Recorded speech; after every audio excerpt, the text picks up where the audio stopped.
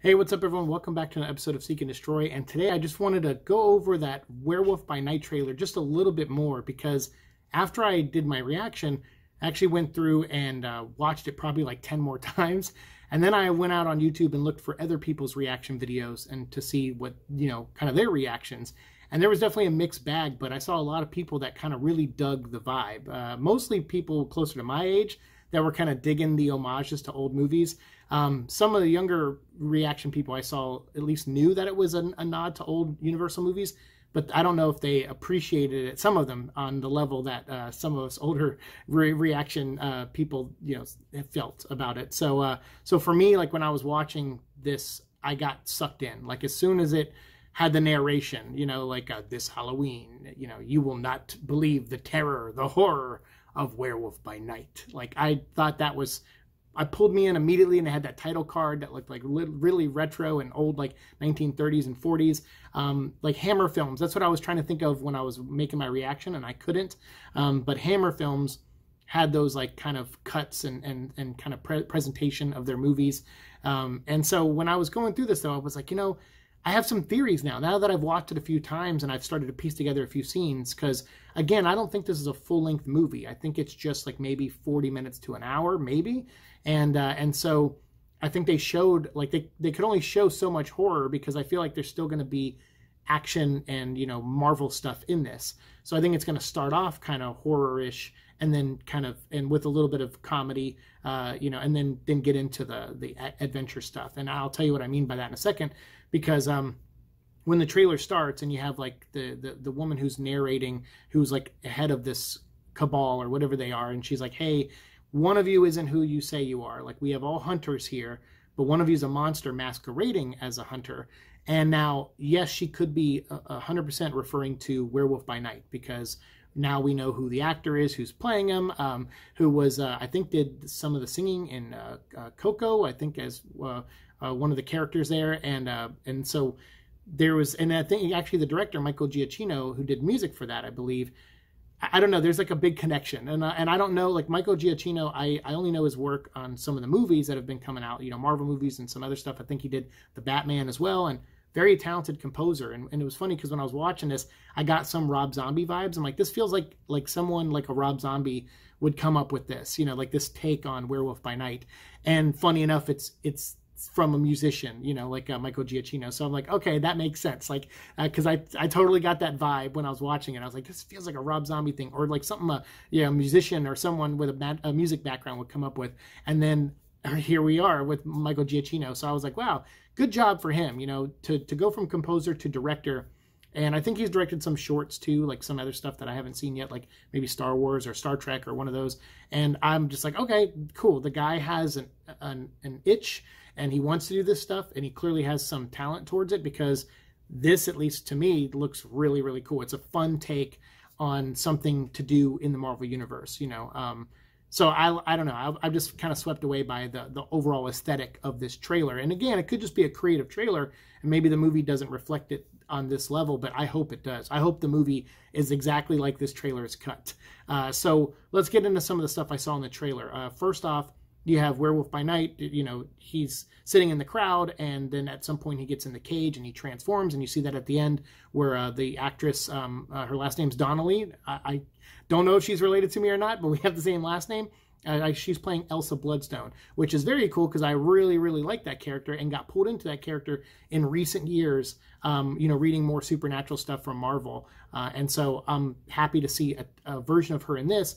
And I think she'll probably start off where she seems like a helpless um, you know, uh, but she'll probably, you know, reveal herself to to be a full on monster hunter. Or maybe this will be the story that makes her become a monster hunter. That could be the case too. Uh, because I had a theory at the beginning. There's that that corpse in the tombstone, or in the not in the tombstone, but in the in the casket. That is like uh, it looks like Garth the zombie from Marvel, and it's kind of like uh, I'll be rotting for you, you know.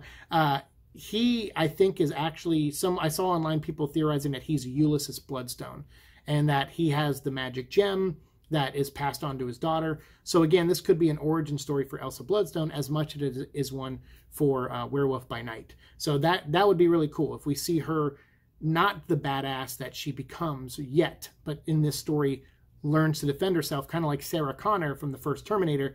And then by the end, she survives. And then in the, the next time we see her, she's like slicing, you know, werewolf heads off and stuff and vampires apart. That would be really awesome. Um, the other thing, though, is Man Thing. the other thing is uh, Man Thing is in this, and we see like two shots of him. I think even one shot where um, Jack Russell, Werewolf by Night, is up against uh, a bush or something, and a hand comes through and grabs him and pulls him. I believe that's actually Man Thing's hand. Uh, because uh, later on, when we see a shot of Man Thing, you have Jovan, who is the big burly guy with the beard. Um, he comes in with like an axe, and you see him in a couple shots walking through the hedge maze with an axe, with that axe, and uh, and then you see a shot of Man Thing in that same maze uh, area, holding onto someone's head and like melting their head with a big hand. So again, I think that hand that comes through and grabs Jack Russell is probably Man Thing's, and I think he's uh, Man Thing at some point is going to kill Jovan, uh, the big burly guy with the beard.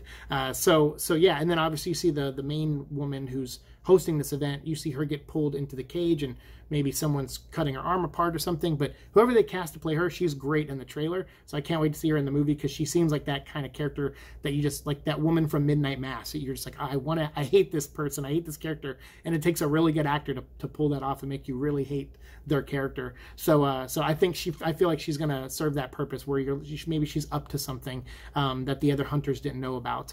Um, so yeah, I'm I'm curious to, to learn more about that and to see if that is actually Garth the zombie or if that is Ulysses. I'm interested in that as well. And then the last thing I want to mention is the TVA from Loki. Uh, those guards in the hallway, at, uh, where they, like I said, they show some horror elements, but then they show some action so, uh, shots where Jack Russell jumps into a, a, hallway. I think it's Jack Russell. He jumps into a hallway and he starts fighting all the guards. Um, and then you know one of them is like shocking them from the back with their with their shock sticks or whatever, um, and and I, which are supposed to like make things evaporate. I think I think maybe there's a couple different settings. I I can't remember Loki too too well. Um, but anyway, the TVA is there. They're lining the hallways. They're acting as security during this event for the hunters, and that's really interesting because it makes me wonder if this takes place out of time, if this takes place in another realm that is like just all movie monsters, like it's a, a, a monster verse essentially. Uh, you know, that would be really cool.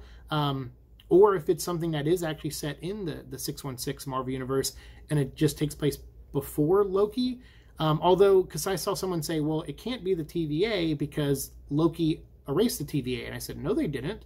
At the end of Loki, there's still the TVA. I mean, he, you know, Loki shows up and meets Owen Wilson, but a variant of him. So now there's variants of the TVA, whereas before there, you know, there wasn't. Um, so the TVA, their, their timeline all got rewritten too by the existence of Kang the Conqueror again. So, so to me, I'm like, no, it could absolutely could be the TVA, apps, you know, and it looks like them, and they have the same weapons. So them being involved, I think, is going to directly tie into Man Thing.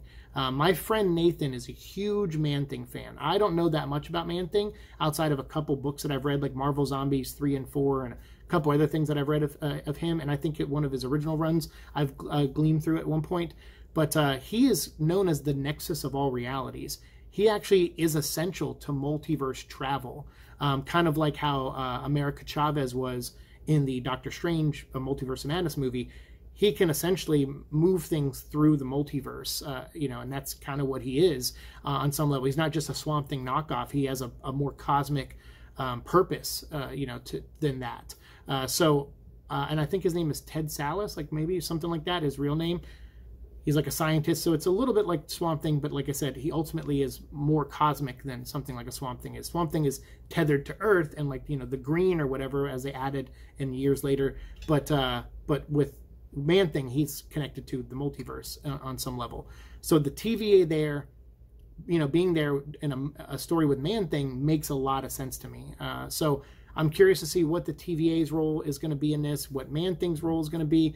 I like the idea of it being a monster story, but setting up Elsa Bloodstone. The monster we're following is a werewolf, but then the you know the appearance of something like Man Thing that throws a wrench in the spokes of whatever the plans were for the hunters like I think all that could be really cool, and I would love to see a monster versus monster fight at the end with uh, Jack Russell versus Man Thing. I think that would be really really cool.